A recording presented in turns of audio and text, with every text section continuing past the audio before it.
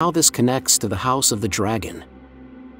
And for more videos from the Game of Thrones universe, don't forget to subscribe to this channel. Welcome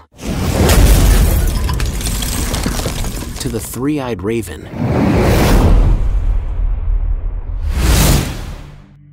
To understand this theory, we must start at the beginning.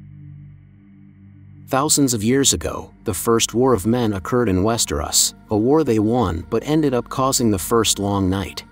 Conqueror has been passed down from generation to generation, but it is part of a sword given to those first warriors by the children of the forest to defeat the White Walkers.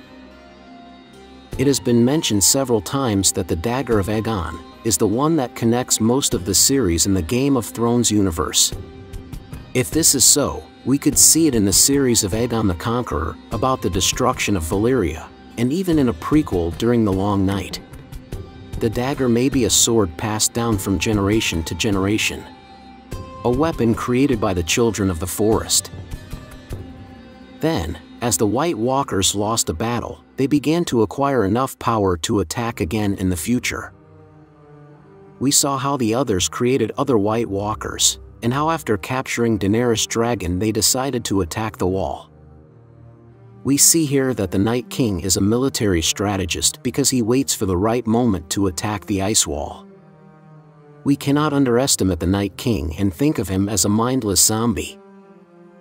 It is no coincidence that the Night King attacked the north, just after Winterfell was almost in ruins because of the recent wars, while the kingdom was more divided than ever. This is where Bran comes into this theory.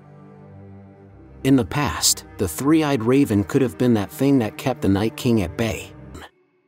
So then, how does this theory connect to the House of the Dragon? According to Viserys, Aegon the Conqueror had a vision that led him to desire the unification of the Seven Kingdoms. He saw the destruction of mankind coming because of something approaching from the north. If this theory is true, that thing that came from the north is Bran Stark, who was born in the north, acquires the powers of the three-eyed raven, and then his mind is hijacked by the Night King. This would make Bran not only the most powerful entity in the Game of Thrones universe, but also the greatest threat in its history, as he is an entity with supernatural powers such as remote vision, controlling animals with his mind, resurrecting other entities, and even the ability to travel through time.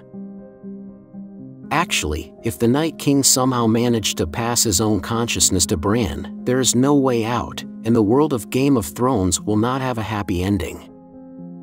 Of course, this is an unlikely theory in the context of this universe. However, it could be a good starting point for the Jon Snow series. Let's imagine for a moment that Bran starts having dreams about the Night King. Because of that vision, he had the consciousness of that entity starts to manifest in him, and he starts to become evil. What if Jon would then have to come from the north to save mankind?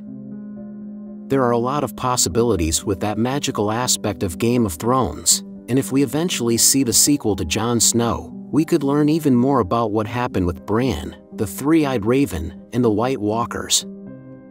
But tell me what are your thoughts on all of this?